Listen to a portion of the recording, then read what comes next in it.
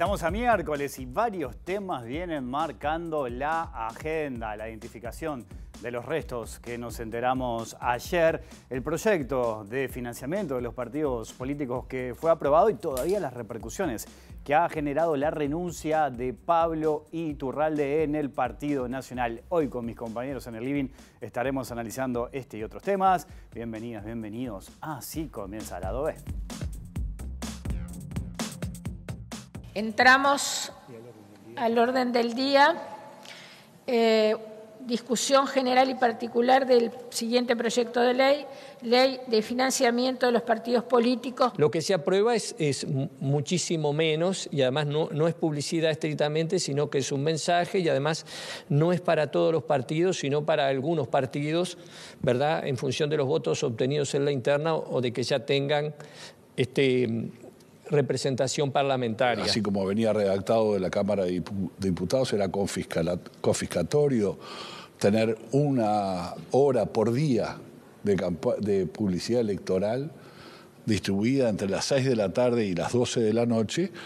Y eso no solamente iba a ser confiscatorio con respecto a los canales, sino altamente negativo para los partidos políticos, porque íbamos a aburrir y no íbamos a, tener posibilidades de comunicación. En una segunda instancia, el Frente Amplio acompañó en el entendido de que más allá de, las, carencias y las críticas, suponía reconocer que eh, se le puede exigir a los medios de comunicación espacio este, gratuito y sin cargo para contribuir con la democracia.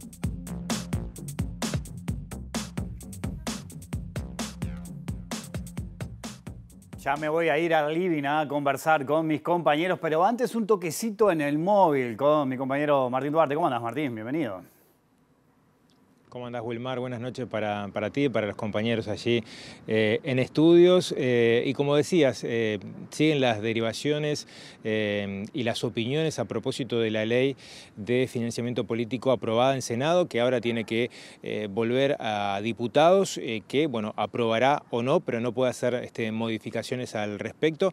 ¿Qué pasó de lo que el proyecto que salió de comisión, las modificaciones que hubo ayer en el Senado, los acuerdos, desacuerdos? Vamos a conversar algunos minutos con el senador eh, Daniel Cayani, que se pronunció en redes a propósito también de lo obtenido en la jornada de ayer, pero con, qué sabor, qué sabor deja la discusión eh, con estos 13 minutos que fue de alguna forma uno de los ejes de la discusión a la hora de la publicidad gratuita para los partidos políticos, ¿no? Sí, bueno, buenas noches, gracias por, la oportunidad. En realidad nosotros nos quedamos con gusto a poco. De, de, aquel proyecto que se presentó originalmente por parte de la bancada del Frente Amplio en este periodo legislativo y el anterior al que se terminó aprobando, sin duda hay mucha distancia, ¿no? entre otras cosas, en, elementos que para nosotros son muy importantes. Uno es la publicidad electoral gratuita. En ese proyecto que nosotros presentamos se establecía la necesidad de que se avance en establecer la publicidad gratuita, porque el Uruguay es el único país de América Latina, por lo menos de la región, que no tiene publicidad gratuita para los partidos políticos y bueno, y establecíamos que de 6 a 24 horas se destinen 10 minutos de publicidad electoral a todos los partidos políticos y se establecía también una forma de distribución. Eso daba que en periodos electorales, por ejemplo en las elecciones de octubre de este año, iban a haber 5.400 minutos distribuidos en las tres canales de televisión de Montevideo, más las señales de cable, este, que iban a ser distribuidos de manera equitativa, mitad y mitad entre los partidos políticos que ya tenían representación parlamentaria, eh, uno por la cantidad de votos y otro también por tener representación parlamentaria, y después un 5% para aquellos partidos que se presentaban por primera vez.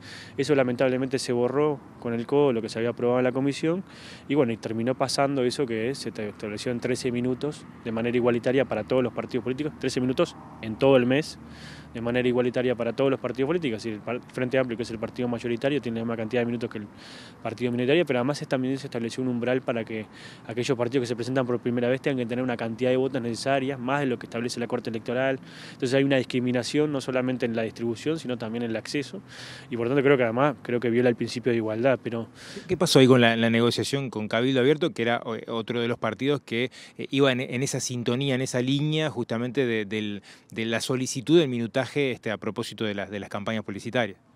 Bueno, yo creo que Cabildo Abierto terminó, eso tendrían que preguntárselo a ellos, terminó acordando con el oficialismo, seguramente por otras, otras razones. Lamentablemente no terminó acompañando el proyecto que el propio Cabildo Abierto, el Partido Colorado, el Partido Nacional, el Partido Independiente, el PER, es decir, todos los partidos políticos con representación parlamentaria en diputados habían aprobado, eso se establecía en ese proyecto y lamentablemente el Partido Nacional y el Partido Colorado terminó como cambiando el eje de la discusión, diciendo, entre otras cosas, que se confiscaban minutos a los canales televisión, cuando en realidad la Suprema Corte de Justicia ya estableció que era constitucional la necesidad o la posibilidad de que exista publicidad electoral gratuita. Entonces, sin duda creo que también acá, y además es un sin sentido decir que era una confiscación una cantidad de minutos, pero no es una confiscación una cantidad menor. Si, es una confiscación, es una confiscación para todos. Pero bueno, esto como todo este gobierno, que según quien lo haga, la, la, mirada que tiene, y bueno, y creo que sin duda eso me parece que es por lo menos un aspecto que deja gusto a poco. Por otro lado, también deja gusto a poco algunos aspectos que nosotros queríamos avanzar. Por un lado, la necesidad de prohibir eh, las donaciones que se hacen en campaña electoral de empresas a los partidos políticos. Nosotros en su momento planteamos que eso se pueda eliminar y que solamente puedan donar las, em, las personas, es decir, quienes son tienen determinado interés en donar a los partidos políticos, por diferentes motivos, lo hagan de manera nominativa. Eso lamentablemente no cuajó y el Partido Nacional y el Partido Colorado entendieron que básicamente por su financiamiento, porque el 75% del financiamiento electoral que reciben es del sector privado, es inversamente proporcional del Frente Amplio es al revés, nada más el 25%, y bueno, nosotros nos parecía que había que establecer un límite. Y eso lamentablemente no se logró. Sí se logró que se establecieran límites a las donaciones de las personas, porque antes, si vos integrabas un partido político y eras el primer candidato en la lista, podías donar de manera ilimitada el dinero que se te eh, antojara o tuvieras y además lo podía hacer en efectivo este, sin ningún tipo de control. Eso se limitó, se establecieron determinados guarismos, para nosotros son muy, muy altos, pero bueno, son determinados límites que antes no existían. Se avanzó en cierto sentido en establecer la trazabilidad del dinero, ¿no? O sea, todas las transacciones que reciben los partidos políticos, las donaciones, son eh, mediante transferencias bancarias. Lamentablemente los gastos no, pero bueno, eso sin duda creo que es un avance. Nosotros hubiéramos querido que todo el dinero se pueda trazar y tenga determinado seguimiento. Y creo que se avanzó en algo que sí es positivo, que es establecer la tarifa plana para la compra de publicidad privada por parte de los partidos políticos. ¿Por qué? Porque han habido casos en otras elecciones, en las anteriores elecciones, donde en realidad los canales de televisión terminaron vendiéndole publicidad electoral a los partidos políticos de manera diferencial. Un 30% pagó más el Frente Amplio que otros partidos. Eso se estableció que tiene que haber una tarifa única y además se estableció que eso se tiene que comunicar previamente, 15 días antes de la veda electoral, del inicio de la veda electoral. Y también se estableció algo que me parece que es importante, que es, por otro lado, que si los canales de televisión deciden hacer publicidad oficial, publicidad, perdón, electoral, tienen que hacer tienen que contratar todos los partidos políticos, no pueden dejar ningún partido político afuera. ¿Por qué? Porque en el año 99, yo no sé si ustedes recuerdan, pero hubo un caso donde el Frente Amplio pasó segunda vuelta y el Frente Amplio no pudo pautar este, minutos de publicidad porque los canales de televisión o le vendieron toda la publicidad a los otros partidos o decidieron no vendérsela. Entonces, sin duda, creo que eso también establece por lo menos cierta equidad y eso creo que es positivo. Y después creo que hay algunos avances en materia de controles, controles cruzados, porque la Corte Electoral va a poder, en cierto sentido, asesorarse con la Unidad de Análisis Financiero del Banco Central del Uruguay, la SENACLAF, para controlar los estados contables. También va a poder ejercer auditorías, eh, va a haber sanciones, sanciones a la veda, que hoy no existen. Hoy existe una veda electoral, pero si los partidos políticos, los candidatos, como en el caso de Delgado, que hizo un spot de cinco minutos, no hay ni sanciones al candidato ni, a los canales de televisión, hoy hay sanciones a los dos eh, mecanismos. ¿Cómo se va a aplicar en ese caso que, estuvo bastante discutido en estas últimas horas a propósito de, ese mencionado este aviso publicitario? bueno, si son sanciones graves o muy graves, eh, se establece qué es lo que se entiende por pieza publicitaria que se puede realizar por fuera de la veda electoral, que tiene que tener un 90% de llamado a un acto electoral, es decir, a un acto político, es decir, una convocatoria un acto. Si eso no cumple con las condiciones correspondientes, eh, la Corte Electoral y la URSEC puede sancionar tanto a los canales de televisión como a los partidos políticos o a los candidatos. Y eso creo que también es importante porque se, establece una, una multa económica. económica de casi 1.800.000 pesos, es importante. Y bueno, eso también va a integrar un fondo de fortalecimiento de la democracia que también se va a distribuir para fortalecer también los partidos políticos y los controles. Creo que es un cierto avance, creo que a nosotros nos queda gustado poco porque nos hubiera gustado avanzar mucho más, pero bueno, en este contexto donde en realidad también las campañas electorales pueden ser utilizadas por eh, organizaciones no lícitas para financiar parte de esas campañas electorales y beneficiar a algún candidato e incidir en las decisiones que pueda tomar la ciudadanía, creo que es importante el avance, todavía es insuficiente y creo que también es importante en el sentido de que se puedan abaratar las campañas, acortar las campañas y que no existe una brecha muy significativa entre quienes pueden hacer eh, una actividad política porque tienen dinero y quienes no puedan hacerla porque no tienen dinero y que eso no sea una barrera. Eso creo que también es importante y bueno, eso también es parte de los objetivos de este proyecto. Daniel, muchas gracias por estos minutos y por, esta mirada acerca de lo, aprobado en la jornada de ayer. ¿eh?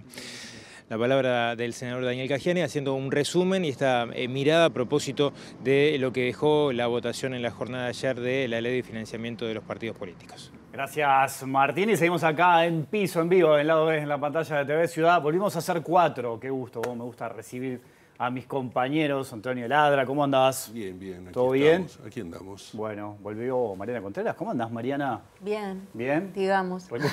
¿Recuperada la gripe? ¿Estás en eso? Estoy, estoy en, el momento bisagra. Ahí está, bueno. ¿Cómo andas, Daniel Chasquetti? Muy bien, muy bien, contento de Con días de celebración. Daniel estuvo cumpliendo años. Exacto. El lunes. Sí. El lunes. ¿Y no lo saludaste? Dígame feliz cumpleaños. ¿Vos tampoco lo saludaste? Ah, bueno, esta es Peñarol. ¿La amistad de este grupo? Y, bueno, pero... Y pará, y la, otra celebración es por Peñarol. Por Peñarol. Ajá, no sé qué, qué festejaste más, el cumpleaños o lo de Peñarol. No, cumpleaños. El cumpleaños. Uh, se está convirtiendo en una persona del establishment. Ah, sí. bueno, eh, alegría tenerlos por acá. ¿Cómo andan? ¿Bien? Bien, bien. Bueno, estábamos escuchando bien este, de cerca ahí lo que estaba diciendo Cagiani. Es un tema que vos venís trabajando hace un montón. Daniel, ¿qué, te genera esta aprobación de este proyecto? Creo que es un paso adelante. Este, a ver, algo había que hacer. Este, fíjate que se intentó eh, modificar lo que hoy tenemos, que es del 2009, en el 2017 y se fracasó. La legislatura pasada eh, no pudo hacerlo y esta legislatura que empezó en el, en el 2020 estaba encargada de, bueno, de comenzar a tramitar este, un nuevo, no era un nuevo proyecto, sino trabajar con el que había fracasado en la legislatura anterior. O sea, nos llevó, en definitiva, siete años. Entonces algunos este, dicen, bueno, en estos siete años hay cosas como que este, se pierden de vista. Por ejemplo, toda la publicidad en las redes sociales no está contemplado en el proyecto. Eso falta. Lo segundo es que todo sistema de, financiamiento este, apunta a dos cosas. Lo primero y más importante es garantizar la, competencia equitativa entre los competidores. Ahí entra todo el paquete de los medios de comunicación y de la publicidad, este, donde bueno, los, los canales privados volvieron a salirse con la suya. ¿no? Este, evitaron que Uruguay sea igual que el mundo. En el mundo, eh, cuando hay campaña electoral, la publicidad es gratuita para los partidos y no se puede contratar otro tipo de publicidad, solamente en ciertos horarios y está distribuida de acuerdo al tamaño de cada partido. Esa es la norma. Nosotros seguimos atrasados en ese punto.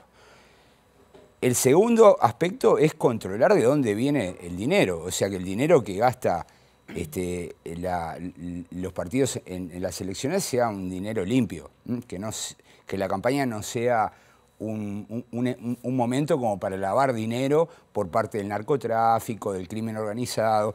Eh, América Latina está llena de ejemplos, ¿no? Y nosotros siempre decimos que, bueno, que Uruguay se viene salvando, pero no tenemos que sorprendernos si hoy o mañana hay un escándalo porque apareció dinero del narco. Entonces, bueno, hay mucha, se, introducen algunos cambios interesantes, como esto de que las donaciones tienen que eh, ser por vía, por vía electrónica, este, donde queda un registro, una huella de dónde entra el dinero.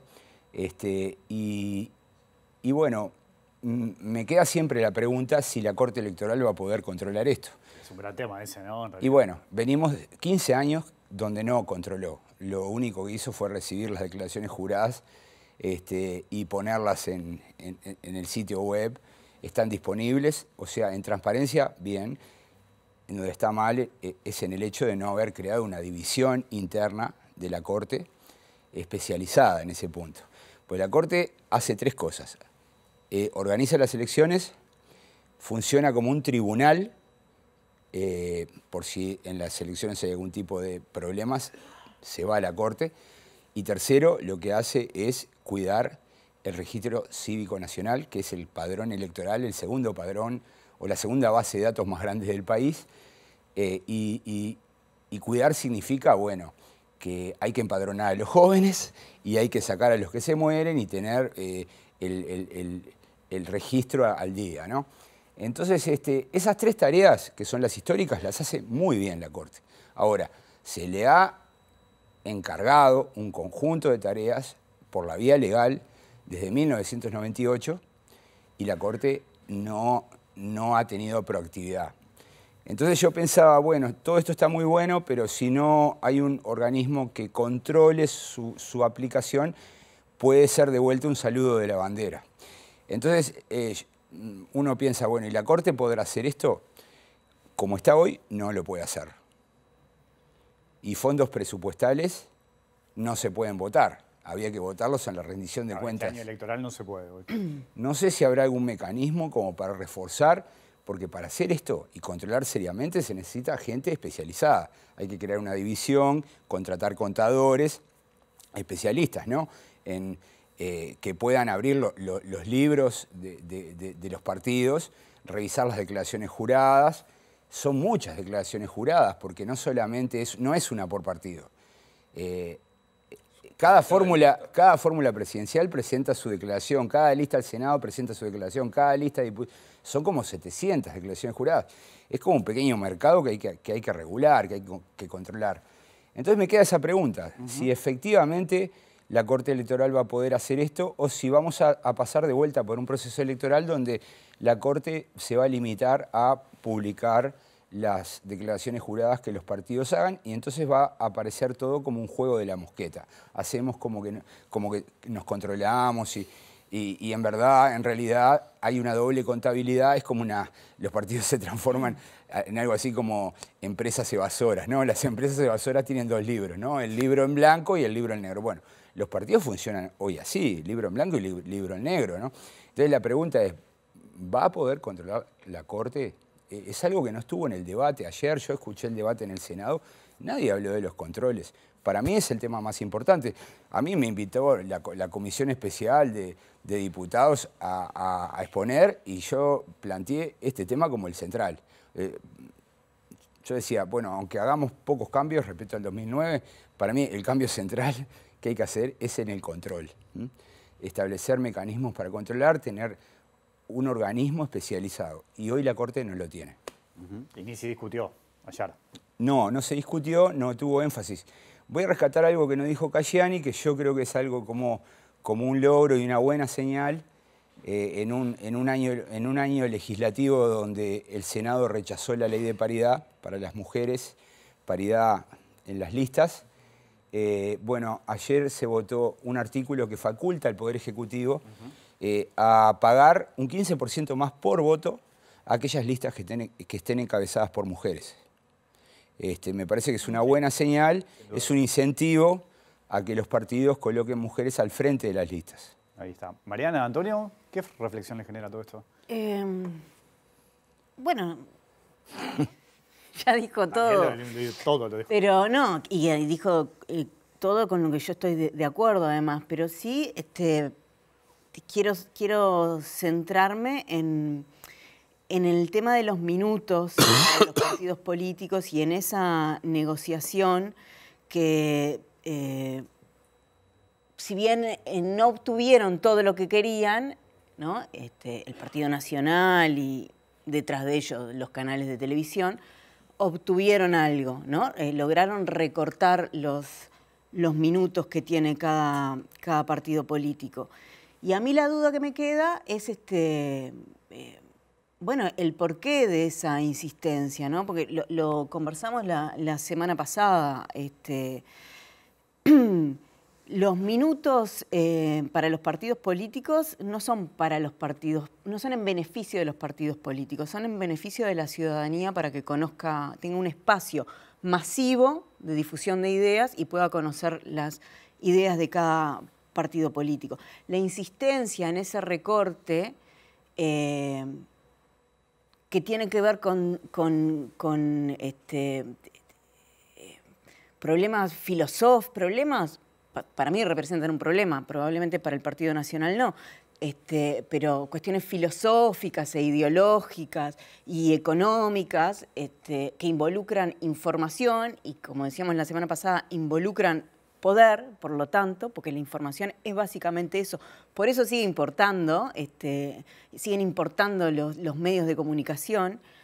Eh, nada, a mí me, llama un poquito a, la reflexión de saber que, bueno, ahí sigue habiendo unos, un, enquistamiento de intereses este, que hay que prestarle atención, ¿no? No hay que, no hay que pensar que, que es inocuo, que lo hacen en beneficio de, nunca son en beneficio de la, patria estas cosas, ¿no? Ahí hay unos intereses económicos y políticos que se están defendiendo desde el Parlamento, en específico se defendieron con uñas y dientes desde el Partido Nacional y Cabildo Abierto, por algún motivo que no conocemos bien, terminó cediendo y que tiene que ver con eh, eso, enquistamiento entre el poder este, de los medios y los que tienen el poder de la información y el poder político. Antonio. Bueno, eh, Daniel ya dijo todo, después es... No, tengo más cosas para decir. Ah, no, pero hay, una, introducción. ¿Eh? Fue una introducción. Ah, eso fue una introducción. bueno, dos cosas. Una, este, es cierto que en toda América Latina hay casos que demuestran la injerencia del, del, crimen organizado, el narcotráfico, en las campañas electorales y en los partidos políticos. Y nosotros decimos que acá no, pero no lo sabemos si realmente acá no. No tenemos cómo saberlo. Capaz que sí, eh, porque no tenemos, no tenemos forma de saberlo. De hecho, hay un diputado Cabildo Abierto que denunció eso. Exactamente. Entonces, no tenemos cómo no saberlo. primer elemento. Segundo elemento, se votó, se, se, aprobó ahí que se, eh, bueno, que sea cristalino, que se sepa el precio del minuto de televisión y que se le va a cobrar a todos iguales existen los descuentos. Pero eso tiene que entrar como donación en especie.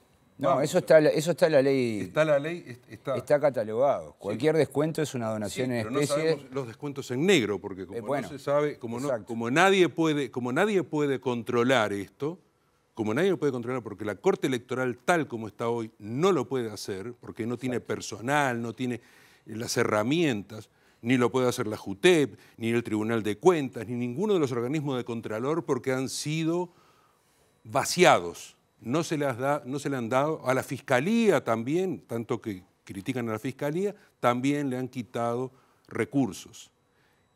Y tercero sería, extraño o recuerdo que acá tuvimos en algún momento una organización de la sociedad civil que es Uruguay Transparente o la Transparencia Uruguay, que era presidida por la doctora Jacinta Valvela, y estaba José Delía, estaba este, Monseñor del Castillo, o sea, había una organización que además tenía, este, digamos, peso institucional y personal y ético sobre la sociedad que hoy no la tenemos. Hoy no hay nada de eso, porque tampoco hay gente que lo quiera hacer o lo pueda hacer.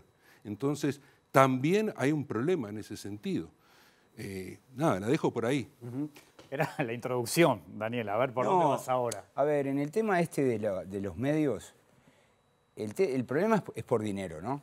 O sea, los estudios que, tenemos de las campañas anteriores nos muestran que los, los canales de, señal abierta recaudan en, en el, digamos, en, en la campaña electoral, en el ciclo, ¿no? que empieza en junio hasta... A noviembre. Cerca de 30 millones de dólares. 30 millones de dólares. Sí, porque en realidad eh, guarda, eh, guarda, una relación con lo que el Estado gasta pagando por voto. Y aproximadamente entre el 90 y el 95% de lo que los partidos cobran por voto se lo gastan, se lo patinan, digamos, en televisión. Entonces es como una transferencia de dinero que cada cinco años los tres canales reciben. Entonces, obviamente... Además de otras transferencias que reciben. No, claro, además de las otras, Este, yo, por ejemplo, en este periodo me llamó la atención como Antel le compró la señal, de, que ahí les, pagó 12 millones de dólares, cómo después este, los canales compitieron con enlatados eh, en un fondo del Ministerio de Industria que era para, para era un fondo de innovación, ¿no? Para, para, bueno, la, para la producción eh, local, audiovisual y, se, lo terminaron ganando programas de... Sí, reality, ¿no? Por lo general eran reality. Programas que eran enlatados, eran... Eran, eran, eran copia de... Sí, compraba el formato. compraba el formato franquicia, ¿no? Que se franquicias. Eh, y después que se les dejó de cobrar el canon, porque la ley de medios, que, que bueno, que se modificó, establece que los canales por usar las ondas que son de, son de propiedad, tienen que pagar un canon, nunca habían pagado nada. Y empezaron a pagar, ahora dejaron de pagarla, eso lo escuché el otro día. Este, voy a ver si lo confirmo, pero escuché eso en, un, en una entrevista, no recuerdo quién, pero bueno, está, no importa. Lo que digo es que es por dinero. Entonces, eh, lo que ocurre habitualmente cada vez que se tramita una ley de financiamiento es que Andeu eh, va a las comisiones, ¿no? Hace un lobby, ¿no? Lobby, eh, bueno, todo el mundo hace lobby, ¿no? Pero Andeu es muy, muy eficiente, ¿no? Y a mí me impresionó mucho ayer cuando miraba la sesión del Senado, invito a los televidentes, está en YouTube, la, la, argumentación ¿no? del Partido Nacional este, defendiendo a los canales, ¿no? Este, está, Heber habla de... Heber de confiscación. Confiscación, ¿no? Lo cual es, no, es, no está bien hablar en esos términos porque no se está confiscando nada. Este, e, e, es una concesión y solamente por 30 días estaban obligados a ceder espacio entre las 18 y las 22. El resto del tiempo podían seguir vendiendo en la mayoría de los países no se puede seguir vendiendo. Pero bueno, así estamos. Creo que es muy difícil reformar esto a pocos meses de la elección. Quien tiene la ventaja nunca, nunca la va a ceder, porque en definitiva tiene esa ventaja. Estas cosas hay que cambiarlas lejos de las elecciones y, hay que hacer como un debate serio y profundo, ¿no? La relación entre los partidos y, y, los canales de televisión, ¿no? Un poco ahí Mariana apuntaba a eso también, ¿no? Y hay que ver, eh, hay que estar atentos, me parece, porque favor se paga. Esto no es gratis. Esta defensa en el Parlamento de los intereses de los privados, a costa de todos nosotros, eh, no es gratis. Entonces hay que ver con qué, con qué se paga. Lo vamos a ver. Eh, históricamente lo venimos viendo y, lo vamos a, seguir viendo que no falta mucho para verlo. Eh, hoy hablábamos, lo llevamos a hablar en su momento, ¿no? El tema de la donación de los privados, que eso también es importante, ¿no? Este, Totalmente. Porque eh, vos lo decía un poco Cagiani, pero lo hemos conversado acá una vez, la importancia que tienen las empresas que donan. Es más, creo que todos conocemos, pero yo conozco empresas que donan en más de un partido, ¿no? Sí, sí. Ponen los huevos en, todas, las, canastas. para ver qué pasa. Hay otras que no, hay otras que deciden por un partido, pero eso es importantísimo. La regla, la regla número uno de la democracia es que cada voto vale uno. Sí mi voto vale igual que el tuyo. Pero si vos sos donante, tu voto empieza a, pesar más. Sobre todo porque yo no sé en qué condiciones vos donás. Porque como es una, una transacción opaca, oscura, no sé si lo estás haciendo porque amás al partido, porque te identificás con la ideología o porque estás previendo una transacción futura en torno a algún tipo de política pública, por ejemplo, una licitación. Eso, es fundamental. Muchas veces hay episodios en, la política de los gobiernos. Etiquetado de, de, los cigarrillos. Exacto, cambios en las políticas públicas o se le condona a Paco Casal este, eh, una deuda de 20 millones, dice, no, va a venir un juicio. Pasa eso. Entonces uno sospecha, yo soy mal pensado. Eh, como analista tengo que ser mal pensado. Tiene que ser desconfiado también, ¿no? Desconfío. Y cuando veo un episodio que no me cierra por ningún lado, no puedo evitar pensar, bueno, acá hubo algo. Entonces, por eso es muy importante eh, controlar. Lo otro es que gastamos demasiado dinero. Acabo de decir que el Estado, en todo el proceso electoral, transfiere algo así como 30 millones de dólares a los partidos. Eso debería ser suficiente para hacer la campaña. No se debería necesitar más. Y sin embargo, este, se, van, se van a ir a buscar otros 30 millones afuera a las empresas, empresas que contratan con el Estado y después el dinero sucio que no sabemos.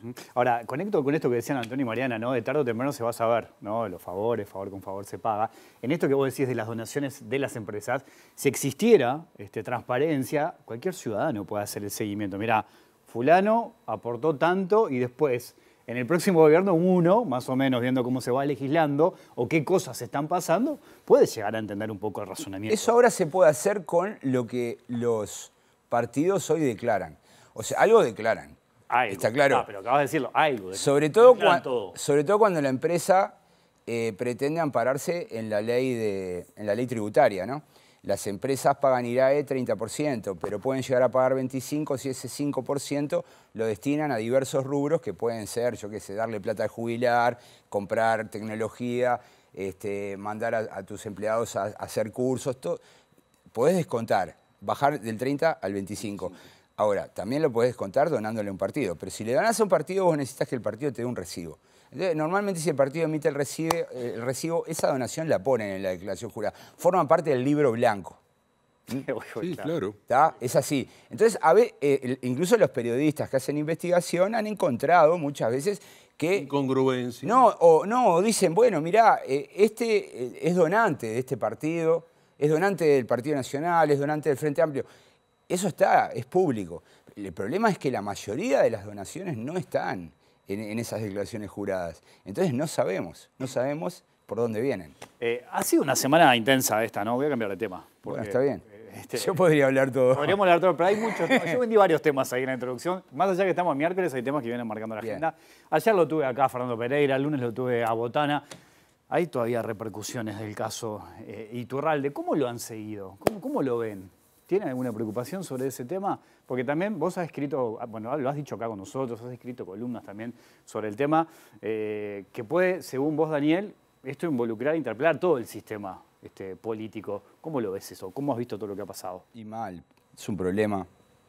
O sea, este, vivimos una democracia, una república, separación de poderes. Eh, cuando el poder, eh, partido gobierno presiona al sistema judicial, está todo mal, ¿no? Este, eso, dicen los, chats de, Pablo Iturralde y, lo que hay es como una conducta repetitiva, ¿no? Es decir, un amigo cae en desgracia porque cometió determinado error y bueno, lo que se hace es pasar límites y estamos en un lío. Porque en definitiva lo que estamos haciendo es, eh, que las instituciones pierdan confianza, que la gente deje de creer en los políticos y, sobre todo en que la calidad de la democracia se deteriora. O sea, estamos trabajando para que la democracia plena se vuelva una democracia defectuosa. Es así, con todo este tipo de eventos, ¿no?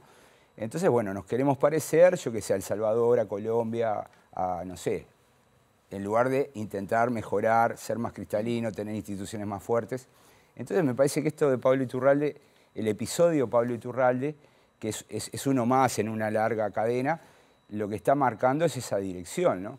Y estas cosas ya pasaron en el mundo, ¿no? Pasaron, no sé, en Estados Unidos con Trump, en, no sé, en Hungría, en Polonia, donde los partidos van pasando por arriba de las reglas, este, dejan de valer las reglas y, bueno, yo estoy muy preocupado. Mariano. Em, viste que yo estuve en mi lecho de, dolor este, desde el viernes hasta ahora. Recuperándote la gripe, ahí está. Recuperándome, y entonces hoy me puse a tiro. Este, y, veía la entrevista que le hiciste a, Botana, y la verdad que este, me, costó bastante. Eh, la palabra que me iba surgiendo así era impunidad. Eh, ¿Con qué impunidad un senador de la República se sienta frente a la televisión a decir las cosas que dice este, sin mucho costo? Es lo que piensa. Eh, sí, es lo que piensa, pero lo que piensa es, es, complicado lo que piensa. Este, hay una cuestión de formas primero. Eh, ¿qué, es lo que le da este, valor a una declaración pública? De un legislador, me parece a mí, esto es una opinión, por supuesto, eh, el argumento. Yo pienso esto porque tal cosa. Eh, uno después puede discrepar con esa cosa, con ese por qué. Pero Botana vino acá y dijo que la fiscal Alfaro era desequilibrada, entiendo que no en términos este, mentales, sino en términos de su trabajo. Una fiscal desequilibrada. Nunca lo explicó. Eh, no le gusta el trabajo del fiscal Gómez porque durante su gestión ha habido excesos y se han torcido cosas que tampoco explicó. Eso a mí ya me dejó bastante eh, preocupada, que un senador piense cosas eh, de integrantes de, la justicia, porque la fiscalía pertenece al, Ministerio de Educación, eh, ahora ya no, pero bueno, pertenece al sistema judicial exactamente, este, y las diga gratuitamente y sin argumentar. Y después lo otro, me puse un poco más optimista y dije, a mí lo que me parece que está pasando acá es que estamos como en un momento de transición, donde hay actores políticos que no están entendiendo que hay ciertas formas que están cambiando, hay ciertas sensibilidades para entender la política y lo que es correcto y lo que no es correcto que están cambiando. No lo están leyendo y entonces dicen estas cosas con impunidad pero al contrario de lo que podía pasar hace 20 años, reciben una respuesta negativa, por lo menos de parte de la ciudadanía, este, de parte de otros actores políticos, cosas que antes pasaban, ¿no? Y uno decía y no pasaba nada, y ahora están teniendo un costo. Digo que me pongo optimista porque quiero creer que, que esa etapa de transición donde todo cruje porque chocan esas formas viejas, con unas aparentes nuevas formas, este, en algún momento se, va a correr y van a quedar estas, estas nuevas formas. Me gusta pensar eso, ¿no? Donde no va a ser de recibo que alguien, que un legislador este, enchastre a, dos autoridades de la justicia, como una fiscal y, el fiscal general, y no pase nada.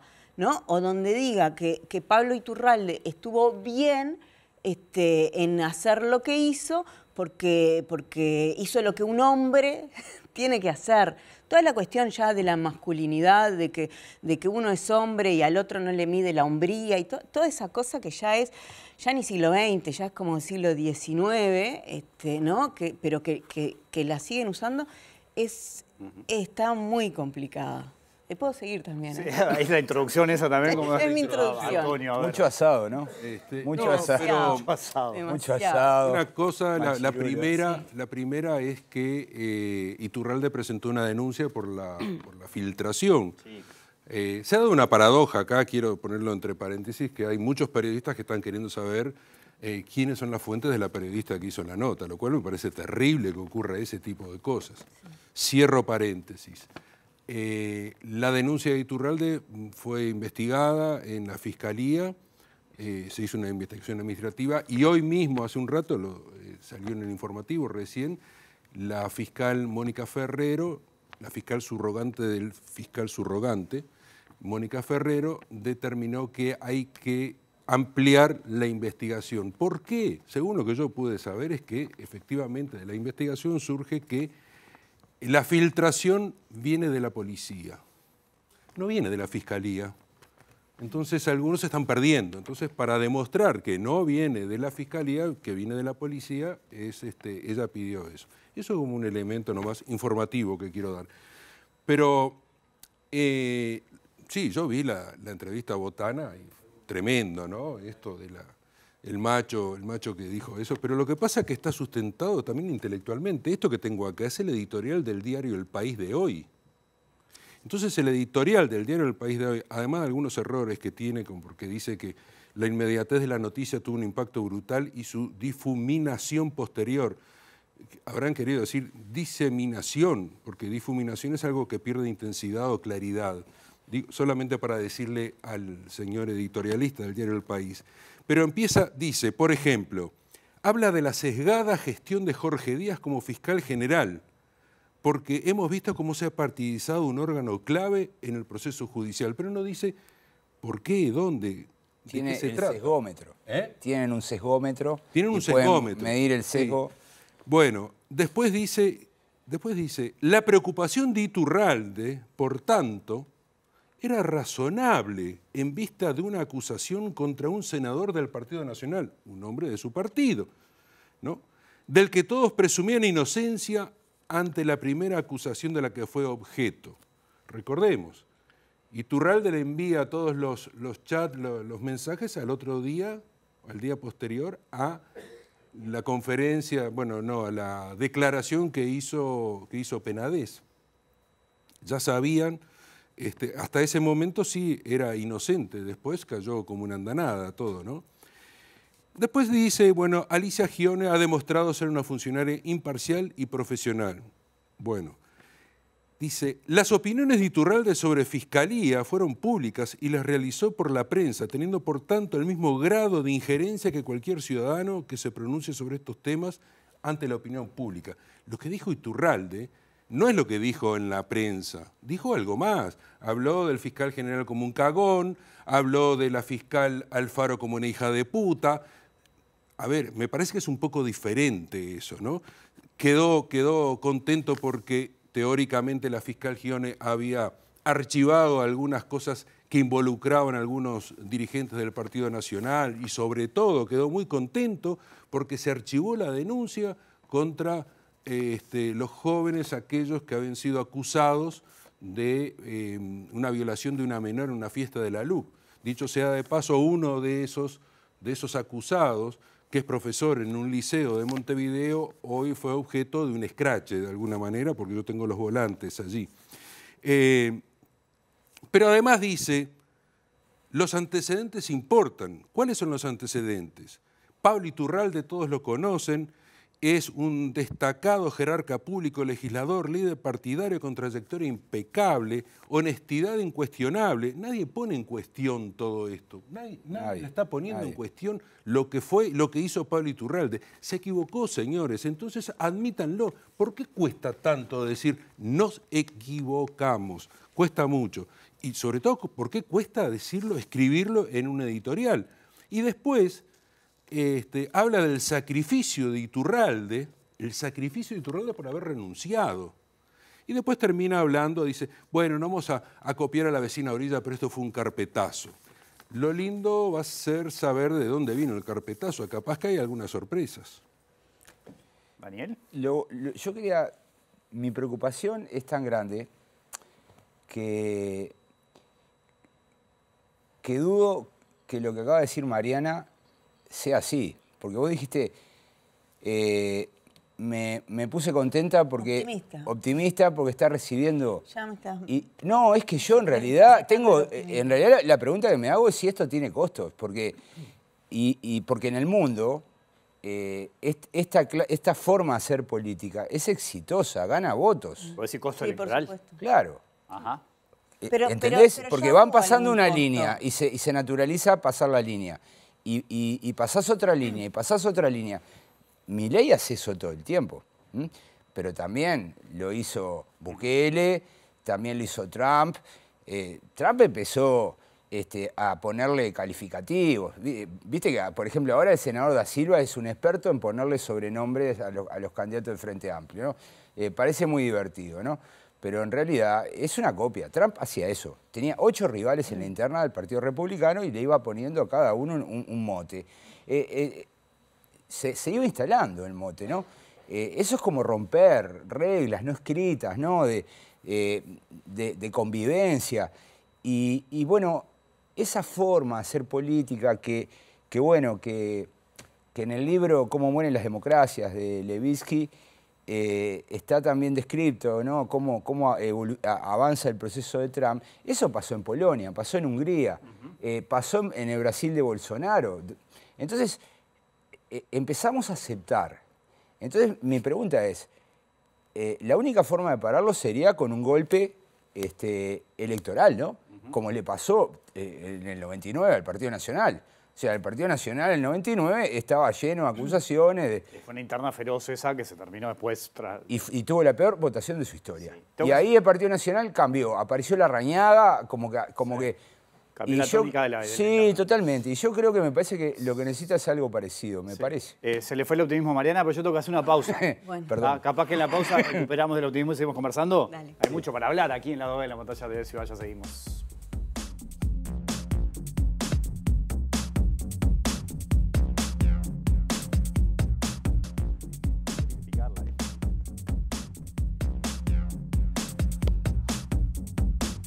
En vivo aquí en lado B en la pantalla de TV Ciudad. Las tandas son tan lindas como el aire, les quiero contar.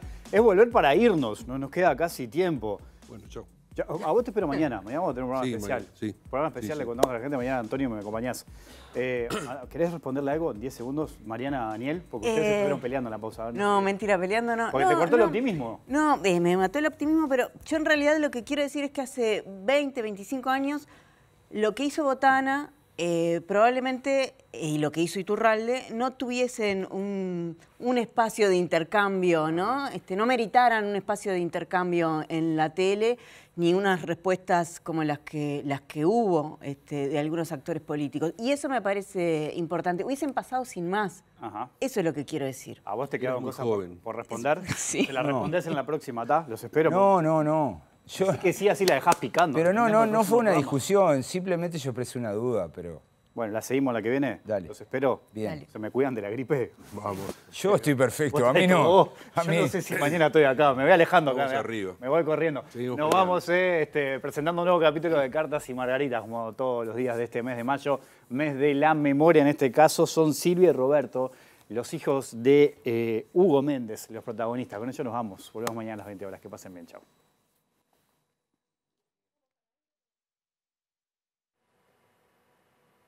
Somos eh, Roberto y Silvia, hijos de Hugo Méndez Donadio.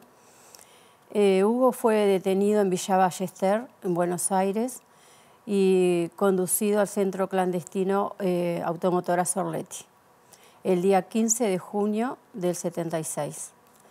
La última vez que lo vimos, ya en el exilio, fue en febrero del mismo año. Pasamos una semana de vacaciones, viajamos junto a nuestra madre, y esa fue la última vez que lo vimos. Eh, la última vez que lo vimos. Fue como una despedida sin saberlo, que era la última vez que lo íbamos a ver. él, de muy joven ingresó a la fábrica de, fábrica de textil Alpargata y al poco tiempo se afilió al sindicato y pasó a ser el delegado del sector. Y más tarde a formar parte del SUA, el Sindicato Único de Aguja. Así fue que llegó a ser parte de la, misma, de la mesa política del CNT, hoy PIT-CNT.